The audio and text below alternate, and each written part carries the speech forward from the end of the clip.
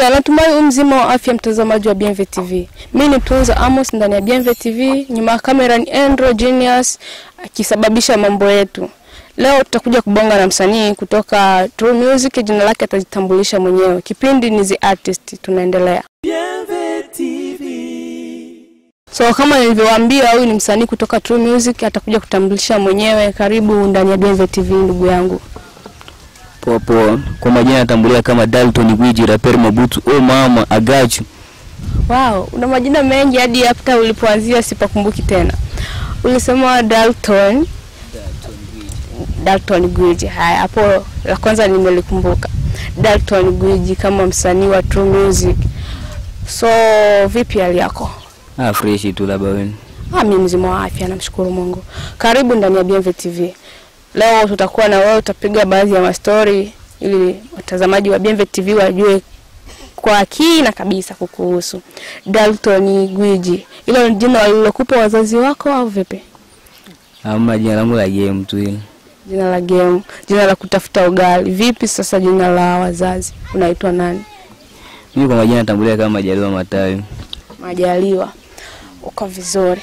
Majaliwa, ilikuwaje uka ukakutana na Folo?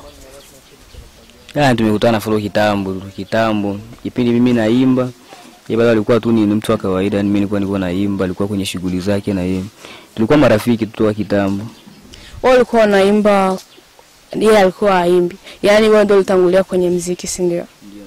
Sasa ilikuwaje sasa mkaja mkakutana mkafanya kitu kia pamoja? Yaani kutokana na urafiki wetu tuliishi kwa urafiki, afu tulikuwa na urafiki na jamaa fulani mwingine ambaye alitutoka mwaka ambao ulipita hapo. tuwa tukiimba, tuwa tunaimba watu watatu kwenye kundi letu. Yule jamaa kufariki, kundi kavurugana, jamaa mwingine fulani ambaye anaitwa Kidboy hivi animba kuchatu Chatu.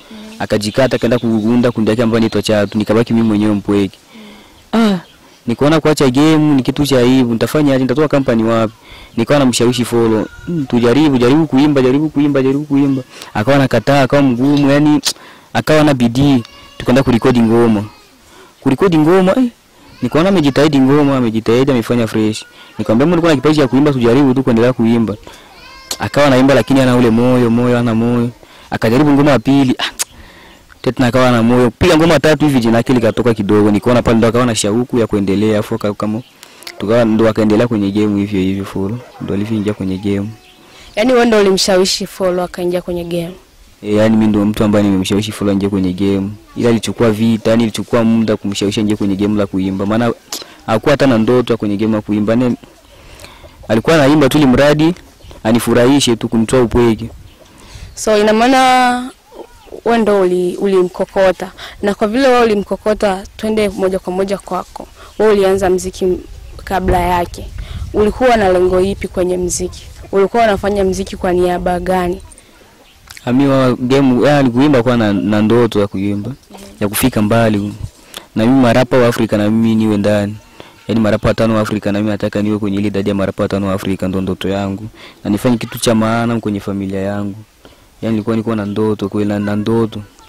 Hivi aliyekuvutia kuingia kwenye gemu ya mziki ni nani zaidi sana kwa hapa Afrika? Msanii nani aliyekuvutia ukaingia kwenye gemu la mziki? Ah, mimi rapa ambaye amenivutia nikaingia kwenye gemu alikuwa ni Yankila. Yeah. Yankila kutoka Mwanza huko vizuri. Sasa ni kitu gani hasa alichokifanya Yankila hadi ukasema nimevutiwa na hiki kitu na mimi nifanye kazi ya mziki? Yaani Yankila kwa kija kuimagine Yankila de aingie kwenye game naye atoke. Amepitia vipengele vingi, yani ametuki, yani amepitia vipengele vingi Yankila na anafanya vitu ambavyo vinanifurahisha. Unaona Yankila huwa ana ana rap, vitu ambavyo vinanifurahisha na pia Yankila mtu ambaye hataki fujo, yani mtu tu wa watu naye ana ndoto tu ya kufika mbali na hivyo leo interview zake. yani, mtu ambaye nivutia na amenivutia hadi nikaingia kwenye game Yankila. Tukiona vitu unavyofanya kwenye game, una rap kweli, lakini rap, yani kurap kwako ni kwa tofauti. Sijui unatumia unakaa kwenye unakaa muda gani kwenye ra, nani kwenye ile kazi, ndio maana uje urapu kwa haraka haraka vile, yani unarapu kwa kwa design yako. Sijawahi kuona, ni wewe mwenyewe tu, sijui una, unafanyeje, unaandaaje ili uje ufanye vile. Yani mimi kurapu kwa haraka, yani kurapu kwa haraka kwangu, yani inafuatana na beat na ngoma yenyewe. Eh, ukija kuimagine kama ngoma ibore kwa ile nimerapu haraka. Nimerapu haraka maana nilikuwa namfokea dada yangu. E, unajua mtu hata kwenye hata na ni asili ya Kibembe mtu akia akija kuwa na leo na nini nafuta dada na amefanya vitu vibaya nani kwenye nyumbani lazima afoke. Na akifoka anakaa anaongea kwa haraka. Ndio maana nimefokaga nimeimba kwa kuongea kwa haraka nilikuwa namfokea dada yangu pale kwa nani. Ndio maana nimeimba haraka haraka vile. Ila kuja kuimagine ngoma ya nani nayo enjuru nini na nini nimeimba taratibu hata loma maneno yangu. Huwa nimba haraka vile ambavyo ngoma imepangwa na biti ilivyo Sana sana watu wa True Music mnatumia ngoma za, za mwendo kasi, inakuwaje hiyo kitu? Ndo mmepanga staili yenu ya kuimba au tu mnajisikia kufanya hivyo? Yani, tuna yani tunaimba nyimbo tunaelimisha na pia tunatiana mwendo wa nani wa waraka kwa maana kuburudisha pia. yani tunaelimisha tunaburudisha mule mule. Kwa mziki huu wa True Music na mziki wa, wa, wa kundi zingine kama Grand Music, tukiweka pale G2 Music, tukiweka ni kundi nyingi, huu mziki wenu mbona unataka kufanana? Nyie kama watunzi wa nyimbo zenu, nyie kama mnaopanga biti zenu, mnaonaje hii kitu? Kwa kwa imagine nyimbo ambayo tunimba wanaponga ni utofauti na wenzetu. Na acha kutufananisha kwa na wengine makundi hapa kambini maana ukija kuimagine kwa utawala, utawala wetu au kutoka kwetu watu wengine wamefuata mkombo. Hapo ka, nani hapo zamani hapo watu walikuwa wanaimba manyimbo ya kupotosha jamii.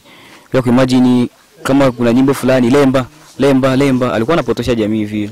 Lemba yani hakumaanisha hata kitu lakini tulivyo tulivyokuja kutoa borego tukatoa enjour tukaja kutoa bushikana ndio tukaona watu wengine wamepata akili na wakawa wanatoa ndio mangoma kama notenda wanakuwa naelimisha notenda kuna ngoma nyingi nyingi ambazo watu wameshaanza elimisha jamii ina maana watu watu wanapiga mkombo yani wameshaenda kule kwenye mkombo wetu Kwanza niwape hongera kwa sababu mmetoa maoni na mnatoa upofu kwenye akili za watu.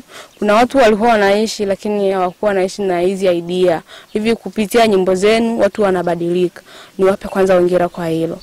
So niseme kwamba we ni msanii watoka zamani. Hivi ulianza lini kuimba?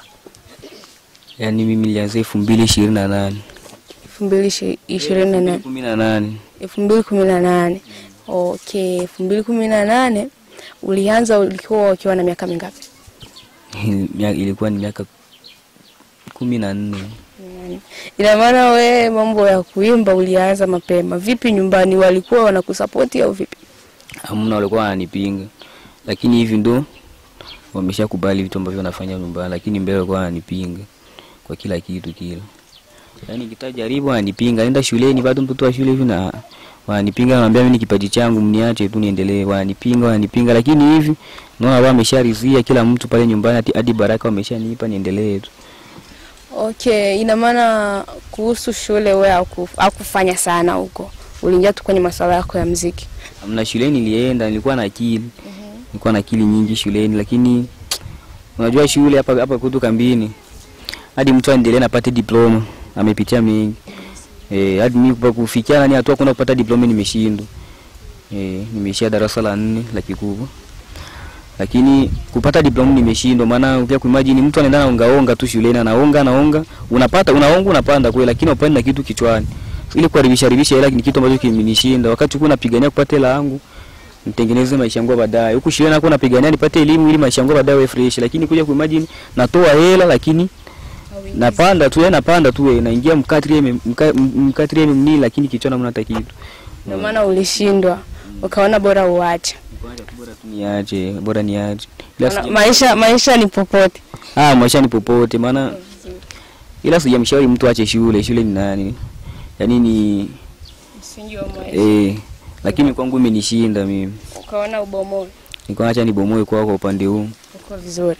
So kwa kuanza kwako mziki huo mwaka wa elfu mbili na kumi na nane mpaka kufika hapa elfu mbili ishirini na mbili. Najua ni changamoto nyingi sana ulikumbana nazo kwenye kazi ya mziki Tuna, tunataka hata chache tu hivi kama mbili au tatu hivi. Ah, changamoto ni nyingi, ni nyingi, ni nyingi, ni nyingi.